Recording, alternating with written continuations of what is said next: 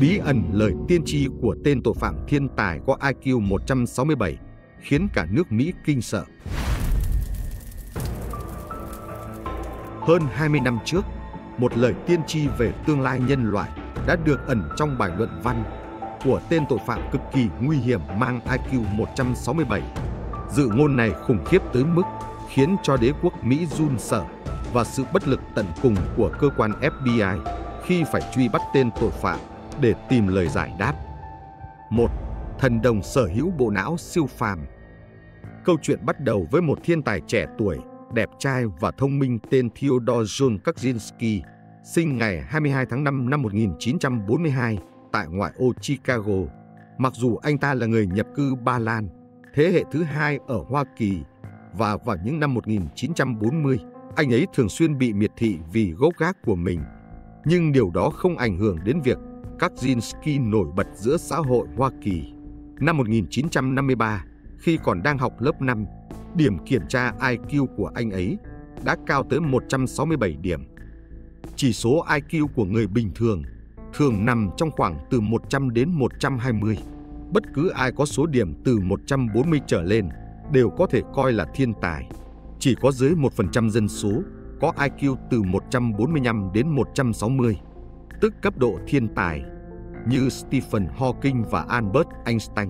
Từ năm lớp 3, anh đã được cho phép học nhảy lớp. Ở trường học, các Kaczynski rất say mê môn toán học.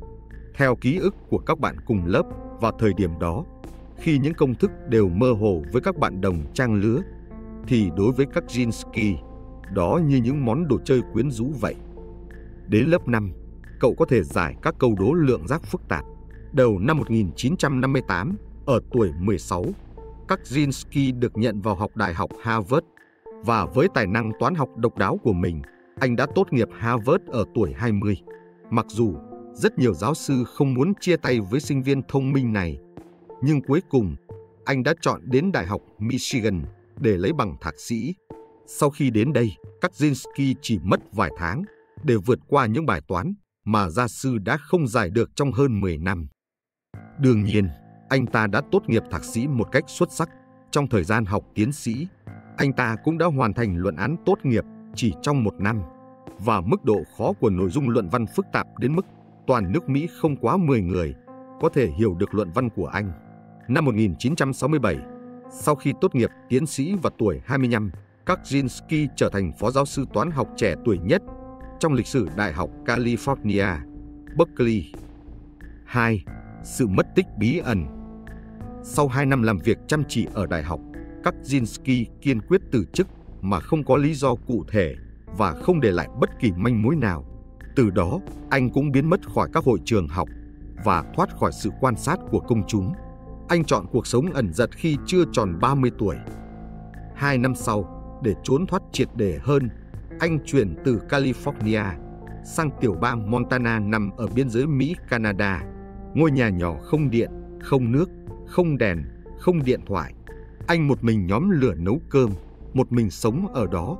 Ban ngày đốn củi sưởi ấm, ban đêm miệt mài đọc sách bằng nến. Cứ như vậy sinh sống ở đó 7 năm. Và kể từ đó, anh ta từ một thiên tài tỏa sáng, biến thành một phần tử gây rúng động toàn nước Mỹ ngày 25 tháng 5 năm 1978, giáo sư kỹ thuật Berkeley Glenn của Đại học Tây Bắc Mỹ nhận được một gói hàng trả lại từ bưu điện. Người nhận là giáo sư Smith của trường kỹ thuật Đại học Chicago.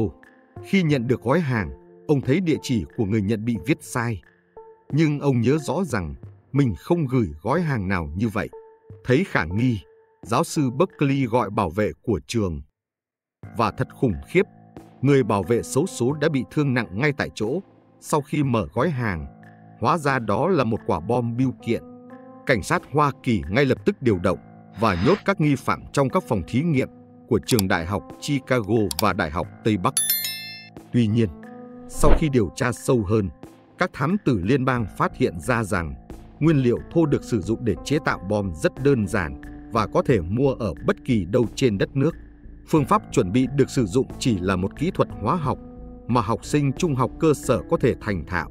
Cảnh sát nghi ngờ rằng kẻ chế tạo bom là một thiên tài hóa học tự học, chứ không phải là một kẻ một sách có nền tảng chuyên môn. Và kẻ bí ẩn này không ai khác chính là Kaczynski, thiên tài Harvard một thời. Sau nhiều tháng điều tra, cảnh sát Mỹ vẫn chưa tìm ra manh mối có giá trị nào. Vì vậy khi thời gian trôi qua, vụ án này cũng dần đưa vào lãng quên. Trước sự nao núng của cảnh sát, Kaczynski lại lần lượt gửi bom thư với sự chuẩn bị kỹ càng hơn. Con mồi của anh chủ yếu là các giáo sư khoa học kỹ thuật từ các trường đại học nổi tiếng. Trong 18 năm, từ năm 1978 đến năm 1995, các trường danh tiếng ở Hoa Kỳ về cơ bản đều được anh gửi lời hỏi thăm khắp nơi. Ngoài các trường danh tiếng, các Jinsky còn gửi nhiều kiện hàng cho giám đốc các hãng hàng không trên khắp nước Mỹ. Những sự kiện này gây ra thương vong lớn cho cá nhân và ảnh hưởng không nhỏ đến xã hội. Ngày 9 tháng 5 năm 1979, tức là chỉ một năm, sau khi các Kaczynski bắt đầu kế hoạch của mình, trên chuyến bay 444 của hãng máy bay American Airlines, khói dày đặc bốc lên từ khoang hành lý. Máy bay hạ cánh khẩn cấp, sau đó cảnh sát tìm thấy một quả bom bưu điện cùng kiểu dáng của các Kaczynski trong một vali tại khoang hành lý. May mắn thay, bộ đến thời gian của quả bom bị trục chặt và không thể phát nổ. Nếu quả bom này phát nổ, sẽ đủ sức phá hủy toàn bộ máy bay. Tất nhiên, hành động của các Zinsky đã khiến chính phủ Mỹ vô cùng tức giận. Đây đơn giản là một sự khiêu khích trắng trợn và coi thường công lý của các Zinsky đối với cường quốc này. Một đội đặc nhiệm khổng lồ được FBI thành lập bằng cách kết hợp các chuyên gia trong nhiều lĩnh vực khác nhau, mang tên hiệu là UNABOM. Chữ UN là chỉ University, mang ý nghĩa đại học. Chữ A là Airline, mang ý nghĩa đại lộ hàng không. Dịch ra là quả bom hàng không của trường đại học. 3. Công bố luận văn tiên tri Vào ngày 24 tháng 4 năm 1995, các phương tiện truyền thông lớn ở Hoa Kỳ đã nhận được một bức thư có nội dung tương tự nhau và người gửi ký tên là Anna Bomber. Nội dung trong bức thư là nếu hai tờ báo Washington Post và New York Times xuất bản hoàn chỉnh luận văn của kẻ này thì hắn sẽ chấm dứt việc gửi bom thư. Tuy nhiên, nếu ai đó dám thay đổi một vài từ, hắn sẽ trả thù, thậm chí còn khủng khiếp hơn, chẳng hạn như cho nổ máy bay. Vậy luận văn của anh ta chính xác viết về cái gì? Những vấn đề này liệu có gây ra khủng hoảng lớn hơn nữa cho xã hội? Và liệu đây có phải là một cái bẫy? Đối mặt với nhiều nghi vấn, FBI cuối cùng đã lựa chọn thỏa hiệp và đầu hàng. Họ đồng ý cho phép hai trong số những tờ báo có ảnh hưởng nhất thời bấy giờ đăng tải lên toàn bộ bài luận văn của anh. Nhưng không rõ có phải các Kaczynski cố tình hay FBI cuối cùng cũng hiểu được ý đồ của gã hủy diệt này. FBI đã sao chép nguyên vẹn nét chữ của các Kaczynski trên báo. FBI gửi gắm hy vọng vào người dân để có thể xác định chủ sở hữu của bản chữ viết tay này. Quả nhiên, cậu em trai các Kaczynski sau khi xem báo đã tìm kiếm lại tất cả các bức thư trước đó và xác nhận tác giả của bài báo này chính là anh trai của mình. Sau một thời gian dài đấu tranh, David quyết định cung cấp các lá thư cùng bằng chứng có liên quan cho FBI. Mọi thứ cuối cùng đã kết thúc. Sau khi bị bắt, các Kaczynski nói các cuộc điều tra của FBI giống như là một trò đùa vậy. Họ ép anh phải nhận rằng những thứ anh viết là sai sự thật. Dư luận nước Mỹ dậy sóng. Rất nhiều người thắc mắc vì sao một cựu thiên tài lại trở thành kẻ mất trí chống đối xã hội như vậy. Và vì sao FBI lại phủ nhận những vấn đề trong luận văn. Không còn nghi ngờ gì nữa, bài báo cuối cùng mà Kaczynski để lại cho công chúng chính là câu trả lời cho câu hỏi này. Câu đầu tiên của bài luận văn viết rằng con người hiện nay dễ dàng rơi vào tình trạng phụ thuộc quá mức vào máy móc và đến cuối cùng họ không còn lựa chọn nào khác ngoài việc trở nên thân thiết với máy móc. Bài báo dài 35.000 từ và có tiêu đề xã hội công nghiệp và tương lai của nó. Các Kaczynski đã sử dụng logic chặt chẽ để chứng minh một sự chân thật về thời đại công nghiệp trong tương lai, nơi con người bị điều khiển trực tiếp bởi những cỗ máy cực kỳ thông minh. Hãy lưu ý rằng vẫn chưa có khái niệm về trí tuệ nhân tạo vào năm 1995, chính là nói con người bị kiểm soát bởi một số ít giới thượng lưu tinh Anh, đằng sau đó là những cỗ máy. Có hai trường hợp được nhắc tới trong bài luận văn năm 1995 của Kaczynski. Trường hợp 1, khi trí tuệ máy móc AI kiểm soát nhân loại, máy móc tiêu diệt nhân loại, nhân loại hủy diệt. Trường hợp 2, giới tinh anh thượng lưu kiểm soát trí tuệ máy móc AI, loại bỏ quần thể rác hoặc biến con người trở thành gia súc, trái đất sẽ hoàn toàn thuộc về giới thượng lưu. Nếu là trường hợp đầu thì con người đang tự đào mổ chôn mình. Còn nếu là trường hợp thứ hai, điều đó có nghĩa là các thiết bị đầu cuối máy móc của xã hội công nghiệp hóa chỉ nằm trong tay một số ít giới tinh anh thượng lưu. Kaczynski tin rằng sau khi tầng lớp giới ưu tú kiểm soát máy móc, không có gì ngoài hai kết quả. Kết quả một, do trí thông minh siêu cao của máy móc, con người nhất định bị đào thải và trở thành gánh nặng cho hệ thống xã hội. Nếu giới tinh hoa nhẫn tâm tàn bạo hơn nữa, họ có thể sẽ trực tiếp loại bỏ một lượng lớn nhân loại và sử dụng các biện pháp tuyên truyền và công nghệ sinh học để giảm tỷ lệ sinh của dân số và dần dần loại bỏ phần lớn dân số rác. Người dân của giới hạ lưu và người dân các nước kém phát triển, bất kể phương pháp nào được sử dụng thì cuối cùng trái đất cũng đều nằm trong tay giới thượng lưu tinh anh. Họ sử dụng công nghệ để thay đổi cấu trúc thể chất và tâm lý của con người với danh nghĩa là điều trị các vấn đề của họ. Ví dụ như tiêm vaccine, hóa trị, xả trị. Nhưng thực chất giới thượng lưu tinh anh sẽ biến người dân trở thành gia súc được giới thượng lưu nuôi dưỡng. Kaczynski tin rằng công nghệ đã mang đến những tai họa to lớn cho loài người. Ông hy vọng rằng con người có thể từ bỏ công nghệ và trở về với thiên nhiên.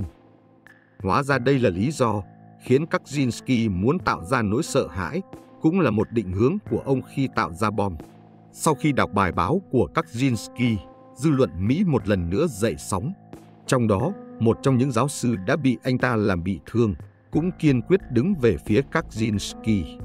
Vị giáo sư này tin rằng bài luận văn của Kaczynski có tính logic cực kỳ chặt chẽ, nghiêm mật. Bài viết tràn đầy những dự ngôn của Kaczynski chính là hình dạng xã hội nhân loại tương lai bị kiểm soát bởi công nghệ. Vào thời điểm quan trọng, khi bước vào thế kỷ 21, nhân loại sẽ phải hết sức cảnh giác. Nhiều người Mỹ đã trở thành fan hâm mộ Kaczynski và họ tôn thờ anh như một anh hùng cứu thế. Ở một phương diện khác, cuộc điều tra của Tòa án Liên bang đã dần hé lộ lịch sử đen tối về quá trình biến đổi Kaczynski từ thiên tài trở thành kẻ điên. Hóa ra việc này có liên quan đến một nghiên cứu khoa học bí mật của Hoa Kỳ và Liên Xô vào những năm 1960. Vì có chỉ số IQ vượt trội, Kaczynski bị CIA tuyển chọn và trở thành một trong những nhân vật thí nghiệm cho một dự án nghiên cứu khoa học tuyệt mật mang tên Murray từ năm 1959 đến năm 1962. Đây là một thí nghiệm tâm lý con người được tổ chức bí mật tại Đại học Harvard. Mục đích của thí nghiệm này là phá vỡ tính cách của một cá nhân, đồng thời phát triển các kỹ thuật tẩy não và kiểm soát tâm trí người khác bao gồm tra tấn, thiếu ngủ, thước ảo giác. Một trục trặc trong thí nghiệm đã vượt khỏi tầm kiểm soát đối với nhóm chuột bạch như Kaczynski và biến một thiên tài thành kẻ lập dị. Cuối cùng, gia đình Kaczynski cũng tìm được một luật sư giỏi với hy vọng giúp anh thoát án tử hình bằng cách chứng minh anh bị bệnh tâm thần. Nhưng Kaczynski khẳng định rằng anh đang suy nghĩ đúng đắn và tin những lời cảnh báo của mình với nhân loại là đúng. Kaczynski sẽ không bao giờ cho phép bản thân mình bị lịch sử gán cho cái mắc kẻ tâm thần để người ta thoải mái bôi nhọ tâm trí ông. Ông đã nhận tội trước tòa và cuối cùng bị kết án bản án trung thân tại tòa án liên bang. Video của chúng mình đến đây là hết. Còn bạn, bạn nghĩ sao về những tiên tri của kẻ thiên tài tội phạm này? Liệu có bao nhiêu phần trăm dự ngôn sẽ trở thành sự thật? Lý do gì khiến FBI phủ nhận tất cả những điều này?